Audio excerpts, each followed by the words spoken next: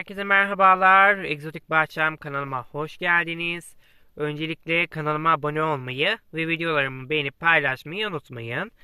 Bugün sizlere çok güzel ve devasa bir tırtıl göstermek istiyorum. Oldukça büyük bir tırtıl ve değişik de bir tırtıl. Ben bunu araştırdığımda büyük tavus kelebeği olarak tanımladım. Ancak tabi ne kadar doğru bilmiyorum ama büyük ihtimalle büyük tavus kelebeği. Burada oldukça fazla kelebek türü mevcut. Bu yüzden böyle çok değişik tırtıllar görebiliyoruz. Böyle küçüğünden büyüğüne kadar.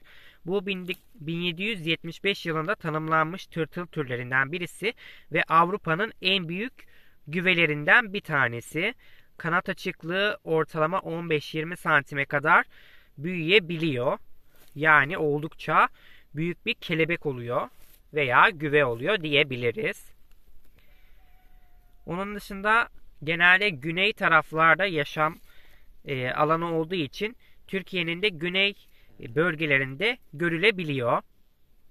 Kırgızistan gibi bölgelerde de ve Filistin gibi bölgelerde de tabii ki de yaşam alanı mevcut. Dediğim gibi genelde güney taraflarda yaşıyor. Sizlere de göstermek istedim. İnşallah bir gün kelebeğini de görürsek onu da sizler için çekerim belki. Bugünlük videomuz bu kadardı. Bir sonraki videomuzda görüşmek üzere. Kendinize iyi bakın.